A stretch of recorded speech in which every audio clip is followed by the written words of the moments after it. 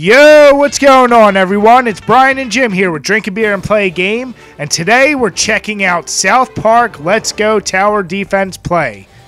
What a name! Released in 2009, this was developed by Double Six and published by Microsoft. It is a Xbox Live Arcade exclusive. Basically, it's a tower defense game.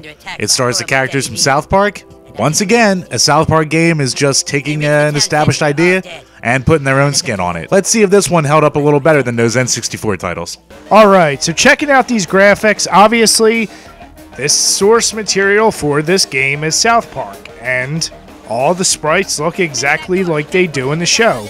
Of course, this is more zoomed out because it's a tower defense game. So we kind of had to keep the score fair. I mean, if we were going based on just source material, we'd be giving it 10s. But with the criteria we establish and comparing it to other games that are available on Xbox Live at the time, I think we settled on something pretty solid. There's no real complaints. Everything's nice and colorful. The animations are pretty cool. So as you see, we both gave it sevens. Definitely above average. I'm not faulting it really for anything. It's just obviously the Xbox Live Arcade can do a whole lot more. And as far as beer, no need it does the job really well. The sound. Uh, the sound's actually a very decent package. The music in it's good. It's good background noise. It's nothing too spectacular. It's not really memorable, but it really does get the job done. The voice work? The voice work's great. Like all the other games, it's done by the people from South Park.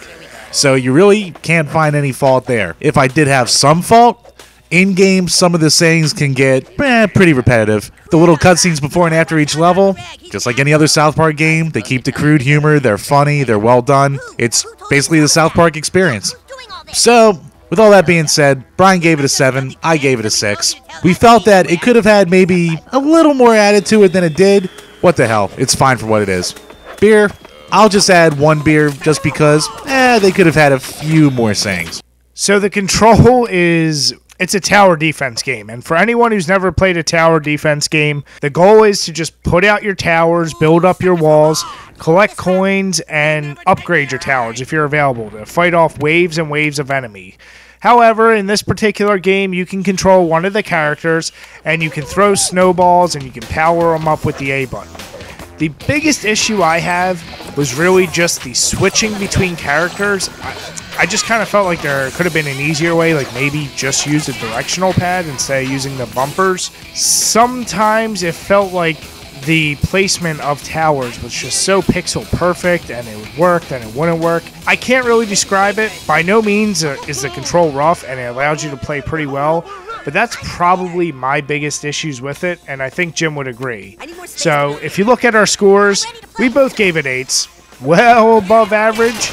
But like I said, it's just the character selection could have been a little bit better. As far as beer, I'm just going to add one beer just because we would have liked to see these developers take use of the D-pad in this game. All right, the gameplay. Well, Brian already kind of hit on it.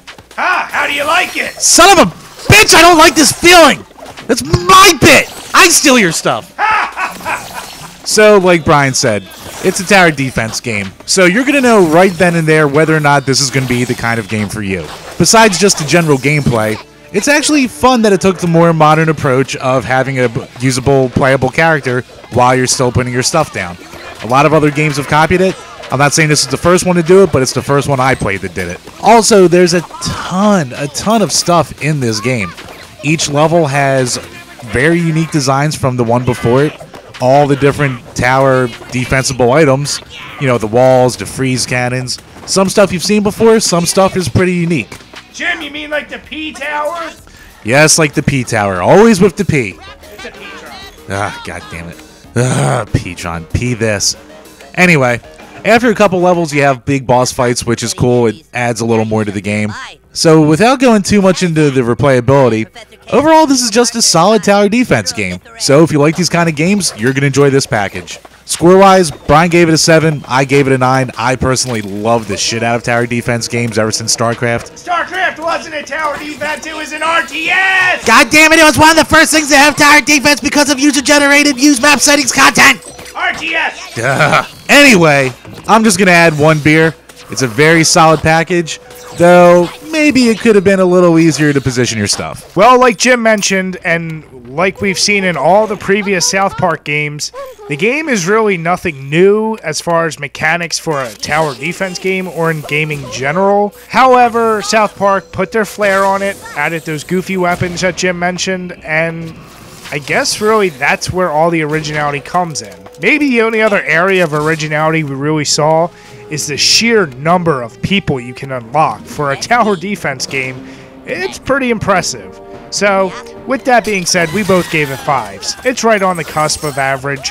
Added enough new players and weapons that we hadn't seen before, but it does nothing new for the genre. I'm going to add just one beer, because I know Jim will probably repeat way too much in replayability. No, goddammit, no! The replayability. I'll keep this quick. Every level you get graded on how well you do, so it'll take a lot of practice and you're really going to need to hone your skills in to get the top levels. But if a level's too hard for you, there you can always skip it and get the turd medal.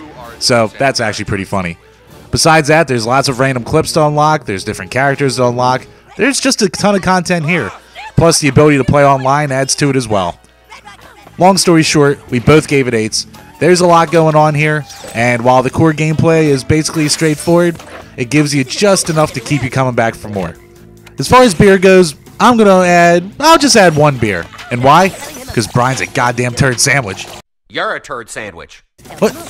No! No! I said you are! You're a turd What? sandwich. the fu- No!